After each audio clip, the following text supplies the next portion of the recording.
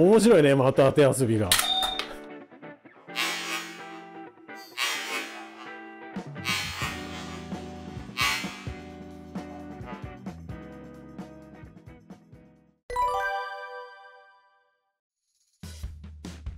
はい、こんにちは。黒猫 YZ です。はい、今日の動画はね、これです。バーンもうね、FN57 って書いてありますんでね、えー、今日はこのボイスキーさんとこから販売されてるトリガー引くだけのブロバックで弾の出ないものね。で、レーザー的当て系のね、おもちゃ銃 FN57 で遊んでいこうかなという動画になります。ね。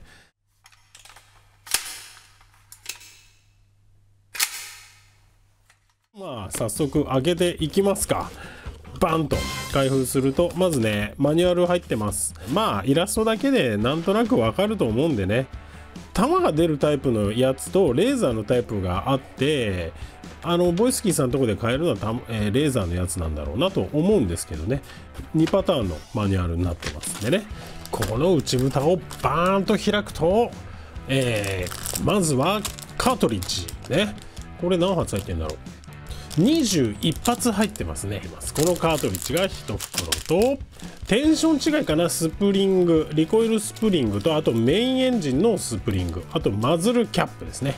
でレンチ六角レンチが入ってます。フロントが逆ネジのあれになってるんでマズルまあキャップなんだけどあとはこれ。レーザーユニット。あとは銃本体にマガジンが1つというね。こういうパッケージ内容になってます。これがね逆ネジでねよくできてるレーザーユニットです。あのあのレーザーユニットです。これはね電池のタイプですね。充電式じゃないタイプ、まあ、いろんなタイプありますよね。バレルの長さに応じた、えー、レーザーユニットが入ってると。そんなパッケージ内容になってます。じゃあざっくり外観から眺めていきますかまずねあのマガジンマガジンいいですよ FN っていうロゴ入ってますよ。これが、あの、パテントクリアしてるかどうか分かりませんが、FN って入ってますんでね。えで、マガジンバンパーが金属なんですよ。重量感が出てると。本体はプラですけどね。で、これですよ。この20発のところにちゃんと穴開いてますんでね。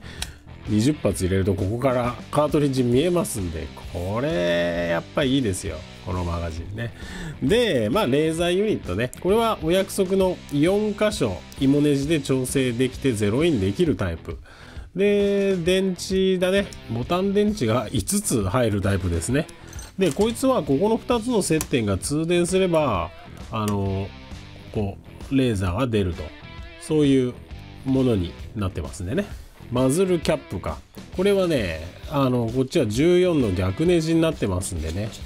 でまあこいつを本体につける時も回す方向は逆回し。でさらにこのマズルキャップも逆回しでシャラーっと取り付けていけばおおいいね。芋ネジがちゃんと隠れるようになってるあたりかっこいいじゃないですか。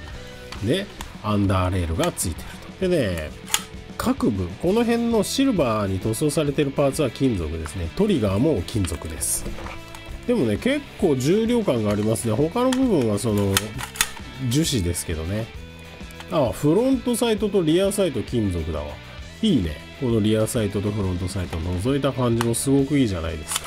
ね今回の目玉は多分ねスライドがねこんだけ交代するとトリガーブローバックで。引いてみますけどこんだけスライドストップもきっちりかかる。ここまでスライドが下がると。これ良くないですか？チャンバーカバー全部隠れるまでスライド交代しますからね。ででですよ。もう一つポイントがあるとしたらここにこのトリガー引くだけブローバックに今までついてたあの板がないと。これが何を意味するかってことですよね。まああと後々ちょっと説明します。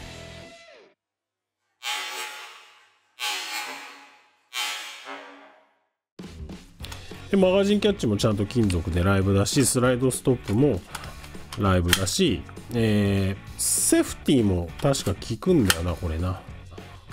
はい。トリガーをロックします。これアンビになってなくて片側だけなんだけどこう上に上げればトリガーをロックするというセーフティが入ってますんでね。このレーザーユニットを入れてまあマガジン入れて、まあ、撃てばレーザー出るんだけどこれ今出っ放しになってるじゃないですか。これ僕がちょっと改造したせいなんですけど今回のこいつがすごいところはチャンバーにこのカートリッジが入っている状態でスライドが交代している時だけレーザーが光るっていう仕組みなんですよ。今までのはねスイッチが1つだけ入ってて弾が入ってようがいまいがスライドを引けばレーザーが出たという状態なんですけど今回のものはチャンバーに弾が入ってないとレーザー出ませんのでね。でこの状態で空打ちでレーザーが出ないっていうのが故障じゃないんでそれだけちょっと気をつけてください。初め戸惑うかもしんないんでね。でじゃあ僕のはっていうとスライド引くともうレーザー出るんですけどこれちょっと改造して空打ちでもレーザー出るようにしてます。僕はそのカートを飛ばさない状態でも的当て遊びをやりたいんでねちょこっと改造しました。これ後で方法説明するんでねよかったらそっちも眺めてくださいっていうところ。で今回はその動作感もリアルになってるんでマガジンにカートリッジを入れてカートリッジがチャンバーに入ってる状態でなおかつスライドが引いた状態じゃないとレーザー出ませんよってなでなんといっても素晴らしいのはこのマガジンですよ。こう今ゆっくりこの弾入れてますけどこれさちゃんと20発入りますからね。そこが嬉しいとこじゃないですか。今までのってその相談数とかカートリッジの外形大きさとかそんなにこだわってなかったと思うんですけど、まあ、これがリアルなサイズかと言われれば微妙ですけどほらこれこうダブルカラムでこう入っていくんですけどね。ここまできっちりカートが覗いてると。これ良くないですか？ね。でホールドオープン状態でこんな感じ。でトリガー引けば小気味よくブローバックすると。全部打ちますね。おお握力がね。でスライドストップをきっちりかかると。握力がちょっと大変ですけどこんな感じで遊びます。すげえ楽しいですよ。であとはカートリッジですよね。FN57 は 5.7×28mm の弾丸を使うんだよね。あのみんな大好き P ちゃんの P90 の弾丸と共通だと。そういう実銃界隈のお話になってますんでね。弾頭よりも薬莢がでかいタイプの弾丸を使うのね。初速が高いと。5.56ナト弾にしろあのトカレフで使ってる弾にしろマウザー弾にしろ。先細りになっててでこれはそれを模したタイプのカートリッジがついてきますよっていう。えー、比較の対象としてね東京丸いの P90 のマガジンサイズ比較のためにねこいつも準備して眺めていきましょう。FN57 なんで 5.7mm×28mm で薬莢の長さが 28mm ってことなんだよね。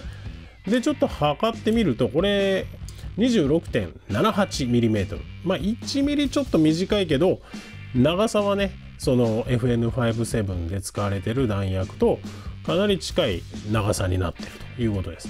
で弾頭の径5.7なんですけどこれね測ると 6.24.6.25mm ぐらいになるんですけど5.7っていうとねまあこのぐらい。全然もうほとんど変わんないですよ。でこっちのカートリッジ見てもらうと分かるんだけど薬莢部分よりも弾頭部分がかなりスリムなんでね。こいつは空薬莢を模したタイプのカートリッジだと思えばかなりリアルなものになっているというところです。でリム部分の径は 78.5mm と。ね78.6とか出てますけどこれはね弾頭部分よりも先すぼまりで、えー、薬莢部分がでかくて火薬がいっぱい入るタイプの弾薬なんでこういう形状になってますと。初速が高くて貫通力が高いと。実際こっちのダミーカートの方の全長を測ってみるともう 4, 4センチ近くありますんでね、うん、実銃の弾もそんな感じだったと思いますんで、ええ、リム部分の径もこうやってまあ目測ですけど、まあ、7 5 6のリム部分の径になってますし逆境部分の長さを測ればそれこそやっぱり29とか28とかそういう数値になりますんでね。ちょっと比べますけどこんな感じ。やや短いけどサイズ感としてはいいんじゃないですか。逆にこれ長すぎるとうまく動かないかもしんないよね。トリガーブローバックでね。まあそんな感じのカートリッジがついてきますと。いうことです。で東京丸いのね P90 黒猫 YZ カスタムね。持ってきましたけど。こんなサイクルだったっけ？1500600出たんだよね確かね。まあ同じ玉っていうことでちょっと登場させましたけどこんなになってます。でじゃあ操作方法ついでに通常分解だけやりますか。こいつここのレバーを後ろに下げてこのぐらいまでしか下がんないんだけどさスライド一式前にカツッと。ねそうするとこう出てきますんでこうやれば通常分解できます。ブローバックエンジン金属になってるね。なかなかいいですよ。フロントのこのエンブレムの部分も金属が入ってるし。すごいね。よくできてるね。だいぶ良くなってますね。で、えー、まあここにとりあえずこのトリガー引くだけブローバックは板板状のものが入っててなかなかすんなり通常分解できないんですけどちょっとこうしならせながらね抜けばバレルも、えー、リコールスプリングも取り外せます。ただこのレーザーユニットをつけた状態だとうまく抜けてこないんでねそこだけちょっと気をつける必要があるかなという点ですね。あとあとですよ。さっき言いましたよね。ここに板ないよねって。今までのやつってここに板があってこの板でカートリッジ弾くんですよ。でチャンバーもなかったんですよ。疑似チャンバーマガジンから抜けたやつをこの板がポンと叩くだけだったんですけど今回はチャンバーがある。カートリッジ入れて。これ。これが肝なんですよ今回の。ちょっともったいつけて僕やってますけど取り付けてチャンバーにカートリッジ入ってるじゃないですか。ね。わかりますかね今カチって言ったの。まあ何が言いたいかっていうとチャンバーがあってでスライドが前進した時にエキストラクターが効いてるんですよ。これチャンバーに入れた状態でスライドが前進するとカチッとえエキストラクターがカートリッジをもう噛んでますんでね。その状態でスライドが交代するとカートリッジをこう引っ張ってきます。でカートリッジがここ。スライドがね最後に来るとエジェクターがカートのケツを叩く仕組みになってますんで。ここで。ピッと。これさもうすごいよね。このエキストラクターってデュアルマキシとかこういう方式になってたっけ？確か。こんな感じの。これさっき額引きして20発廃墟しましたけどジャムが起こらない。で廃墟が確実。これはすごいですよ。かなりの進化になってます。このカートリッジとこのエキストラクターとエジェクターの関係。めちゃくちゃ素晴らしいです。あとそのレーザーについてなんですけどここに今までのやつはこうスイッチがあってこれが動けばほらレーザーがね出るというだけのものだったんですけど今回のはチャンバーの中にもスイッチがあってチャンバーの中のスイッチが押されるとカートリッジで押される。なおかつこれを操作するでレーザーが出るようになってますんでね。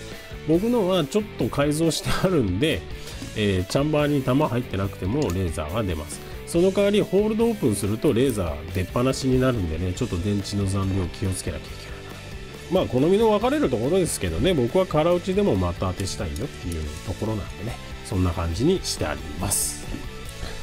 でじゃあこのチャンバーねここにアルミのスリーブが入っててこれが結構硬いんだけどこいつをバッと取ってでここのビス外せばもなかで割れて中いじれるんでねちょっとやってみようと思います。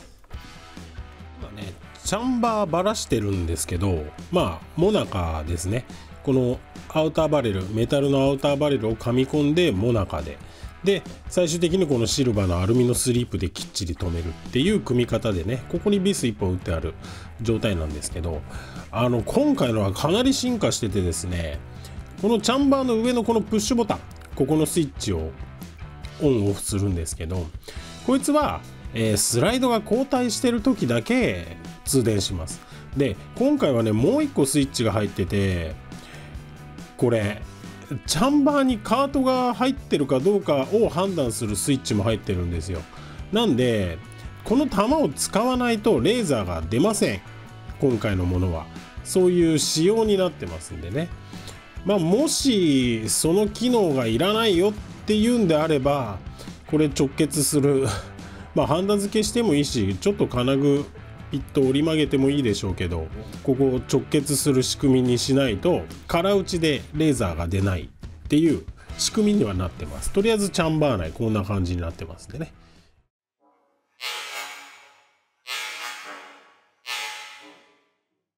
じゃあですねこいつの性能をチェックしていきましょう。まずはね重量から測っていきます。レーザーユニット。15g マガジン。82g カートリッジ。1個。1g ちょい。カートリッジ。21個。で 24g で10本体。437g ね。マガジンとレーザーユニットを加えると 533g 結構やっぱり重量ありますよ。でカートリッジ入れれば 550g とそのぐらいの重量になってます。動産量を測っていきましょう。打っていきます。おああそれなりにね。うん。105.3デシベル。まあ夜中に部屋で遊んでもそんなに迷惑にはならないとは思いますけどね。ガス風呂よりははるかに静かな動作音量になってます。じゃあねトリガーブローバック系で一番気になるのがトリガープルだと思うんですけどね。測っていきます。だいぶ重いよね。だいぶ重かった。これ打ってる感じ。3.465まあこんなもんか。ほら3.706あそれでも4キロ切ってればまあいいのか。はい 3.741kg 平均で3.637と。このリアル路線のねトリガーブローバックの中ではまあ標準値かなというところですね。まあ相当重いですね。20発額引きしようと思うとかなり 握力いるんじゃないですか。そんな感じです。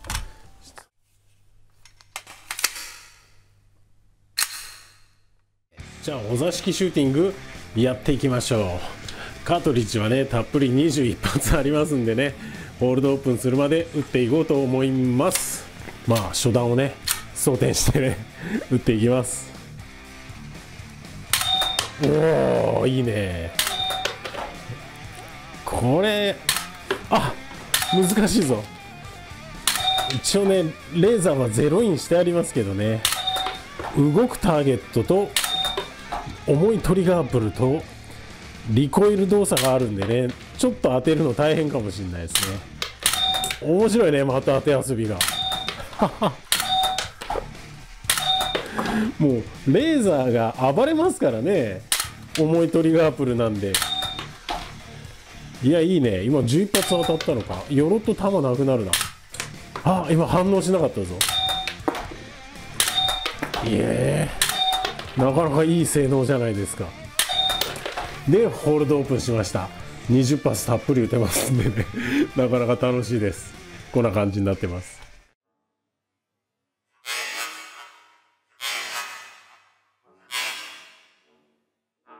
はい、いかがだったですか？ボイスキーさんとこから販売されている FN57 のトリガーブローバック。これね、なかなか良かったんじゃないですか？このカートリッジもね、まあ結構いい形状してますよね。マガジンに20発ちゃんと入ると21発入ったかな。このスライドのストローク。あとは、こいつにはチャンバーがちゃんとあるんですよっていうのがね、いいですよね。で、エキストラクターがあって、エジェクターで排出すると。うん。これのおかげで、ちょっとね、今までのトリガーブローバックは、なんかちょっと不自然な排気をしてたのもあるんですよ。正直なところね。でも、このモデルは、えー、そういう部分をしっかり解消してくれたと。もう火薬を使わないモデルガン的な遊びになってきましたよね。外観もだいぶリアルになってきてるしね。エキストラクター入ってると。でここに邪魔なあの斜めの板が出てこないと。こうこの状態でこっからの見た目もとてもいいですよ。ね、でちゃんと疑似じゃなくてちゃんとチャンバーがあって排出されて示談を装填すると、うん、素晴らしくかっこいいと思います。あそうそう。一応ねこれ逆ネジ 14mm の逆ネジなんで適当なこうサプレッサーがつけることができますと。逆ネジなんでね、まあ、注意してこうつけてもらえれば ちょっとこれ M4 用のやつなんで手近にこれしかなかったんで今これつけてますけどこんなこともできますよっていうところですね、ああとそうそうチャンバーにカートリッジが入ってないとレーザーが出ないんでね。それは僕のは改造しましたけどまあ簡単にそういう改造もできますけどそういう注意点があるんでね。カートを使わなくてレーザーが出ないっていうのは故障じゃないんでね。それだけちょっと注意してくださいというところです。まあ総じてとても素晴らしいモデルに仕上がってるんじゃないでしょうか。ね。あとはトリガープルの重ささえなんとかなればとは思いますけどまあ贅沢ってもしょうがないよね。このスライドをちゃんと勢いよく交代させなきゃいけないんだもんね。うん。まあエキストラクター素晴らしいですんでね。はいということでね今日の動画これでおしまいです。また別な動画で。会いましょう。打つべし。打つべし。打つべし。カートの飛び方がよりリアルになりました。エキストラクターってすごいね。です。